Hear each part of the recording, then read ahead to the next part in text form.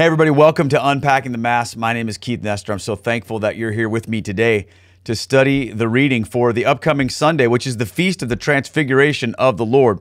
I love this, this event. You know, it's the fourth luminous mystery of the Rosary, and for me, it's one of my favorites in my in my book here, Unpacking the Mysteries of the Rosary, talking about these these mysteries and the fruits that come from them. I, I think about this mystery or this event from the context of not ever taking Jesus for granted.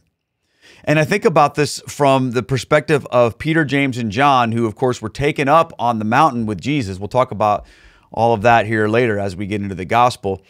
But to think about their experience as having walked with him for three years, no matter what you're around for a while, as amazing as it can be, sometimes people can just take things for granted. So, a famous person once said, Never meet your heroes. And the reason why they said this was because we can easily be enamored with someone or something or whatever and have this vision of them. And then, whenever we get close enough to them, if we if we ever get the chance to do so, oftentimes we're let down. I mean, there's all kinds of stories of people who met their favorite celebrity. I thought they would be so amazing because they're such a good actor or she's such a great singer or whatever, whatever. And then I met them and they were grouchy or they didn't have time for me or whatever, you know. And, it, it's hard sometimes when people build up certain people in their minds and then the reality kicks in and everybody's just kind of let down by that. Um, one of my favorite groups, I've talked about this before, but my, my favorite bands is Rush. And there's a famous lyric from uh, their lyricist, Neil Peart, um, rest in peace, who in their hit song Limelight from, from uh, back in the 80s, he wrote the following lyric. He said, I can't pretend a stranger is a long awaited friend. And he was talking about what happens when people who wait for so long to finally meet him because they're like, oh my gosh, I've been listening to your music and I love the way you play the drums and and they get to meet him and he's just like this shy, introverted guy who who doesn't really have that same, you know, anticipation to meet this random person, but that person looks at him and is like, oh my gosh. And he just says, look, I can't do that.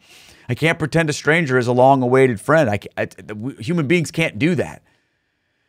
So what happens oftentimes is we we get to know someone and we spend time with them, and then we realize a very important fact that they're a human being just like us, and they've got issues, they've got problems. And I think about that sometimes when it comes to the disciples with Jesus. Now, not that Jesus had any issues or problems or whatever, but I I could go out on a limb and say that perhaps for Peter, James, and John, who'd spent all this time with Jesus day in and day out, that perhaps there was a level of familiarity that had set in to where they just kind of got used to being around him. I don't know, but I mean, I think it could happen. And when you think about the transfiguration, what we see in this is is like a greater revelation of the glory of who Jesus is. He doesn't change. He's not a normal guy one day and then they go up on the mountain and then boom, something happens to him and now he's transfigured and becomes something different. No, that's who we always was, as we're going to see in our first reading. So, really, um, the, the, the remarkable thing isn't that Jesus was transfigured on the mountain. The remarkable thing was that Jesus was hidden under flesh from a certain perspective, if you get what I'm saying. And I know that this gets into some weird, nuanced ideas about the Trinity, but I think we can safely say that the vision that we see in our first reading and in the transfiguration is is a is there's a contrast between that revealed glory of Jesus and what people saw when they just looked at him. He wasn't remarkable in appearance as he walked around this earth. It wasn't like he levitated around and classical music played and his flowing hair and his piercing eyes made everyone look at him and go, "Oh, wow, that guy just has to be like Jesus." It's interesting, you know, people talk about their favorite uh, actor who plays Jesus, and of course, Jim Caviezel is always a favorite, and you know, one person or another. And I remember seeing one time someone was comparing their favorite Jesus against another person's favorite Jesus, and they were offering criticism of a particular actor. And the person literally said, Well, he doesn't look like Jesus. He doesn't look like like like like Jim Caviezel looks like Jesus. You know, you just look at him, wow. But this other guy, he doesn't look anything like Jesus. As if anybody knows, first of all. But what's happened is people people have taken on this idea that Jesus in his flesh must have been this incredibly striking person from a physical perspective. But the reality is that wasn't the case. Isaiah 53 verse 2 says this about Jesus For he grew up, as a prophecy about him. For he grew up before him like a young plant and like a root out of dry ground. He had no form or majesty that we should look at him, and no beauty that we should desire him. And that, that's interesting because we have to remember that what Jesus does as an incarnate divine person, right? Is he's he's not trying to woo us with his physical appearance. He's trying to show us that he has become one of us. But we just can't help it, can we? We get so focused on creating this idea that Jesus must have been something special to look at. When the reality is, according to the scripture, he was just one of us. His appeal was not one of the flesh, but one of the spirit. So when people make these ridiculous statements like, well, that guy doesn't look like Jesus, this other guy does because he's way better looking, they're just speaking from their own perspective of what they've conjured up in their minds. So for Peter, James, and John to see this transfiguration was an incredible blessing to them. And as we'll see, something that completely just blew them away. But before we get to that, let's look at our first reading because this is going to show us really what we're dealing with. It's from Daniel chapter 7, uh, verses 9 and 10, 13 and 14. So the first part of the book of Daniel deals with the events of his life, and then we start getting into his visions. And this is an incredible one. Okay, let's let's read it together. As I watched, thrones were set up, and the ancient one took his throne. His clothing was bright as snow, and the hair on his head was as white as wool. His throne was flames of fire with wheels of burning fire. A surging stream of fire flowed out from where he sat. Thousands upon thousands were ministering to him, and myriads upon myriads attended him. The court was convened, and the books were opened. As the visions during the night continued, I saw one like a son of man coming on the clouds of heaven. When he reached the ancient one and was presented before him, the one like a son of man received dominion, glory, and kingship. All peoples, nations, and languages served him. His dominion is an everlasting dominion that shall not be taken away. His kingship shall not be destroyed. There's a picture in our parish of um, God the Father seated on a throne. He's got this white hair, you know, and and I, have had people say that that's um, you know Eurocentric and racist to depict God as a white man, but it's really not about God being a white man. It's about trying to to uh, capture this this image that we see in Daniel, where the ancient one, which is you know represents God the Father here, has this white clothing and this white as wool hair. You know, we don't know what color his skin was, but we know he had white hair here in this in this text, and and we see this incredible glory. But then he gets down here, and now we see uh, one like a son of man. Now this is Jesus. Okay, this is Jesus, a vision Daniel has of Jesus before the incarnation. And we see this, it's, it's powerful, right? His dominion is everlasting dominion.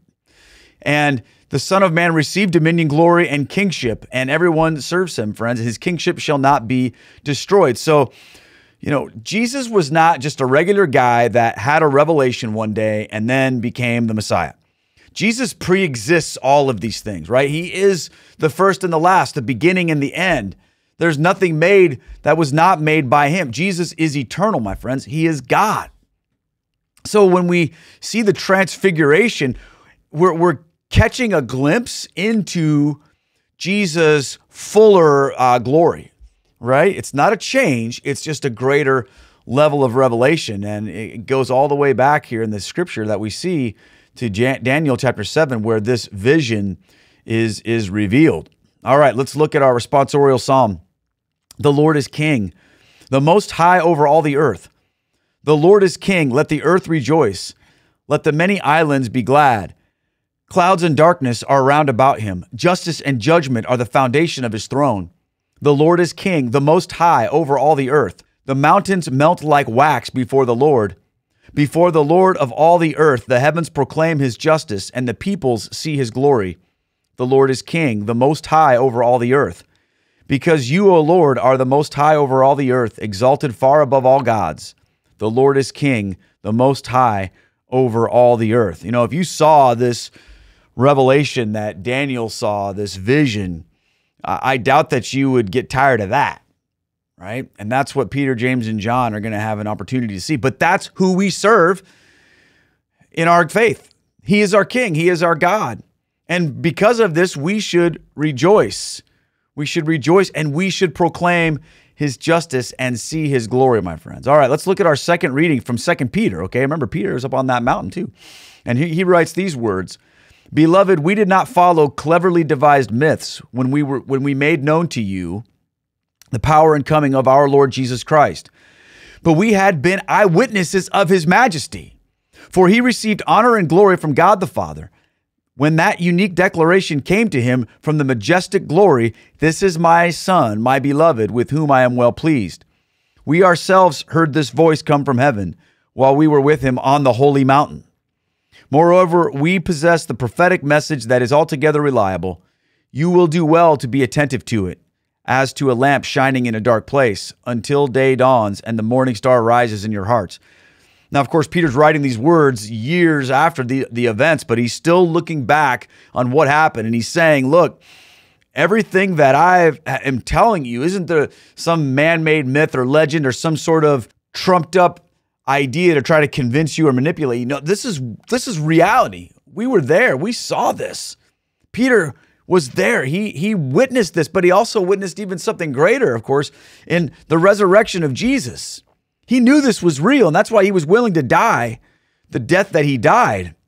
You know, and I think about that for us. Like, what has God shown you in your life that you're just like, okay, I can't possibly deny that? We probably all got something. There, there's, I mean, we wish we had more oftentimes, but the reality is there, there have been times in our lives where we can honestly say, yeah, God showed me something amazing. How quickly then do we run away from that and forget about it? It's it's important that we don't do that. You know, we often think, well, if God would just show me this sign or make an angel feather fall from heaven or do this or speak to me in an audible voice, then I would never doubt, I would never sin, I would never do anything wrong. Well, that's what happened to Peter, and he did all those things, right? But what persisted in his life was the revelation that he'd been given and the faith that he had. Remember, Jesus prayed for him. He said, I pray for you that your faith may not fail. And I think Jesus prays that same prayer for us. These moments of, of vision and revelation are like lights that shine in the darkness. He says, You will do well to be attentive to this message as to a lamp shining in a dark place.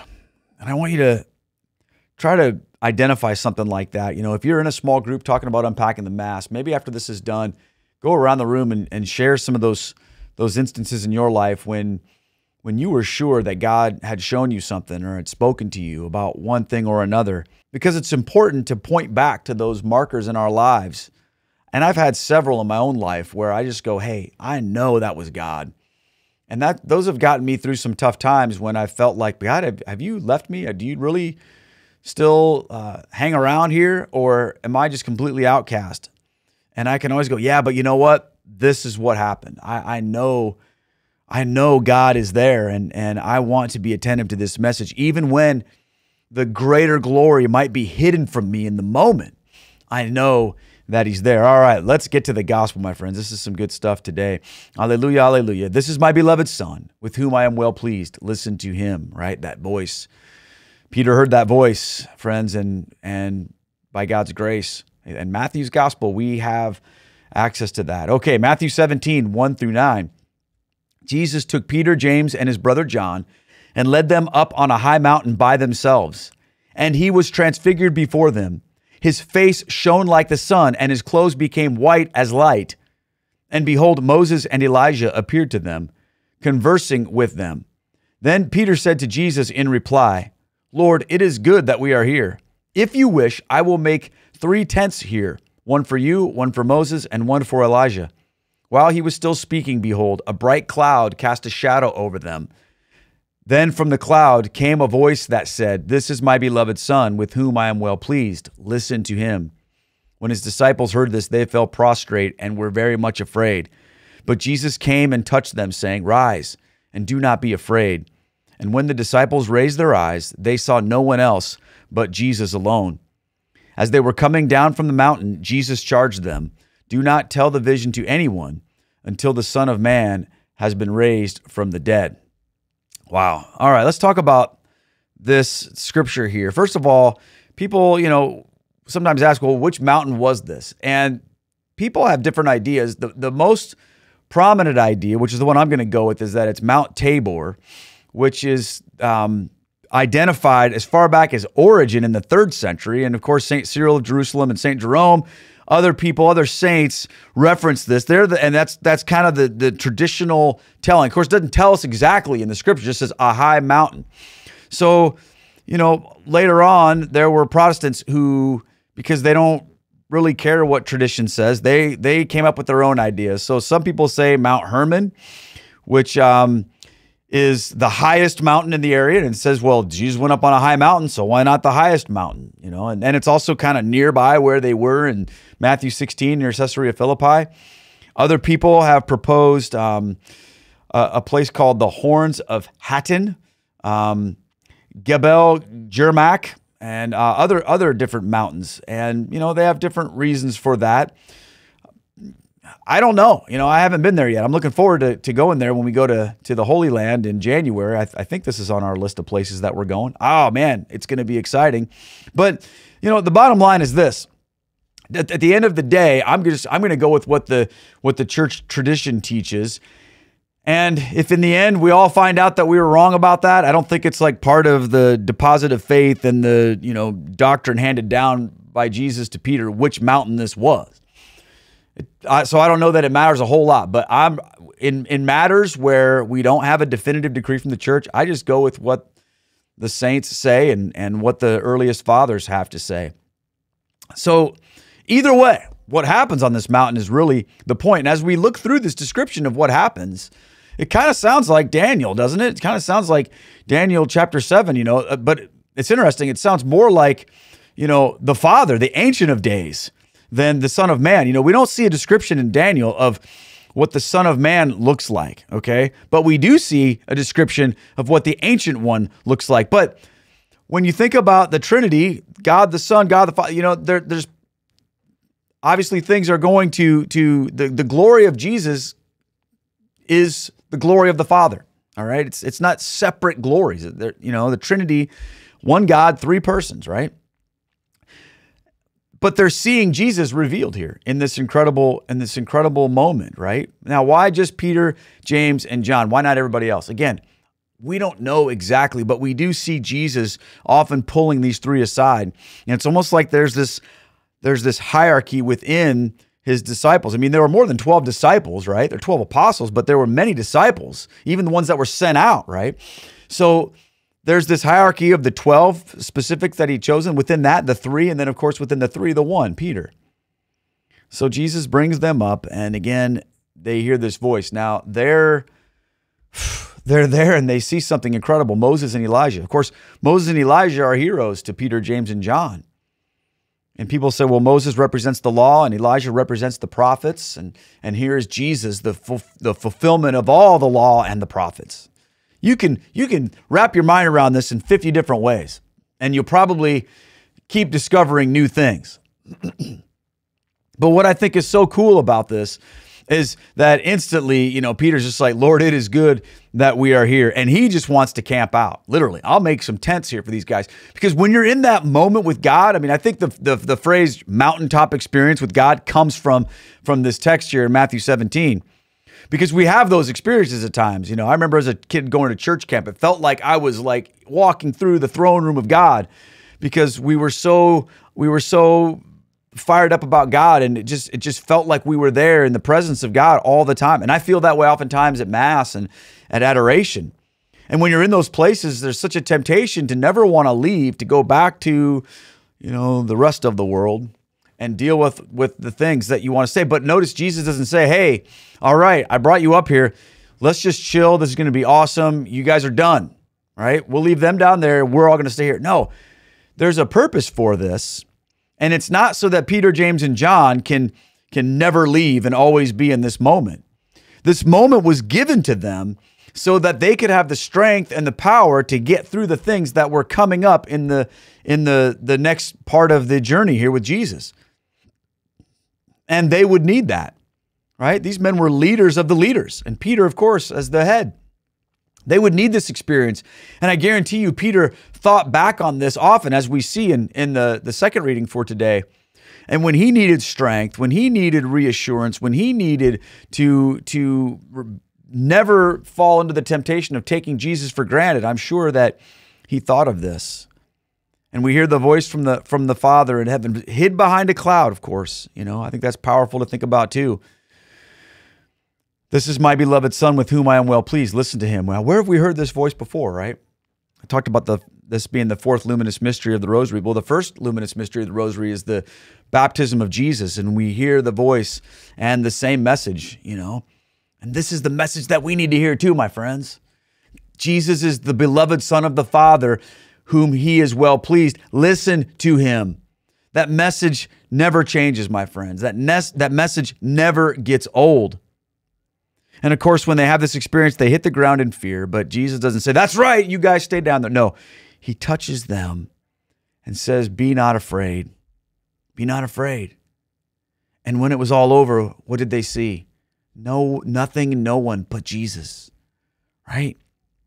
That's a picture for all of us. Because when we are overwhelmed with fear, and even fear of the Lord, you know, sometimes people are like, oh, it's okay to be afraid of God, fear of the Lord. Well, fear is a paralyzing thing. Remember, when the Bible talks about fear of the Lord, the, the, the way that it's described to us is a healthy fear that is born out of respect but it's not a fear that is supposed to lead to paralyzation. But oftentimes it does. We can be paralyzed by fear either because we're afraid of of um, the bad stuff in the world, and we're like, well, I don't, want, I don't want to go out into the evil, bad, wicked world. Bad things are going to happen to me. So we can be paralyzed in fear, and never want to leave the church, and never want to to to have relationships with anybody other than our our little holy huddle. Or we can have this healthy fear of the Lord, but yet be so afraid of disappointing Him that we don't do anything. And both of those are the wrong response. Remember the parable of the servants and the, and the talents. The, the one who was declared to be an unfit, lazy servant was one who didn't do anything. Why? Because he was paralyzed by fear. He said, I know you are a, a, a basically a powerful master and you're a you're a judge and I was afraid that I would lose what what you had entrusted to me so I just buried it in the ground. Friends, we can, we have to be careful that we're not like that. That's not just about a guy who's like, "Ah, oh, I don't care, I'm lazy." No, that's about a guy who's afraid, who's paralyzed by fear of God. And that can happen to us too. How many of us out here, my friends, are so afraid that we're going to mess something up that we just don't want to even entertain the idea of talking to anybody about Jesus or stepping out in our faith in any way because we're so paralyzed that we're not good enough, that we're going to mess up, and that we're going to let God down. Here's the thing the only way you let God down is if you do nothing, is if you or disobey, which is the same thing. You're not going to disobey God by going out and and putting yourself out there to do the work of the kingdom because he's going to go with you and he's going to accomplish through you what he has purposed for you. Will you do it perfectly? No, none of these guys did either. But God still worked through them and used them and continues to use them. And he's going to continue to use you. But you've got to get out of this moment of fear that paralyzes you. So you can fool yourself into thinking that, well, because my fear is that I don't want to let God down, that's a better fear than the fear of I don't want to suffer hey, the end result is the same. You not doing what God wants you to do, or me not doing what God wants me to do. So Jesus says, Rise and do not be afraid. Rise and do not be afraid. And that can be taken lots of ways, but I, I, want you to take it this way. If you're the person that's been so afraid of failure because you love Jesus so much and you, you're also afraid of him, then rise and do not be afraid, because if you put yourself out there and respond to Him in obedience and go out and acknowledge Him before men, He will acknowledge you before the Father. You won't let Him down. And if you're afraid to suffer, so you're like, oh, I don't want to do anything because it's mean, it's nasty out there, people are scary, then it's time for you to rise and not be afraid because Jesus will walk with you and walk ahead of you through all of that stuff, my friend. Never forget in the dark what God has shown you in the light. I've said that so many times.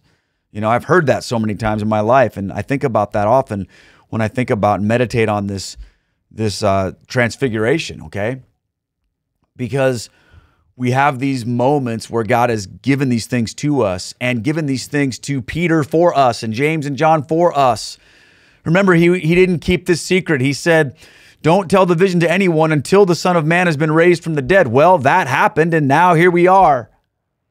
This was given so that we could receive what we need from it, just like Peter did. That's why Peter's able to say, Look, we possess the prophetic message that is altogether reliable. You will do well to be attentive to it.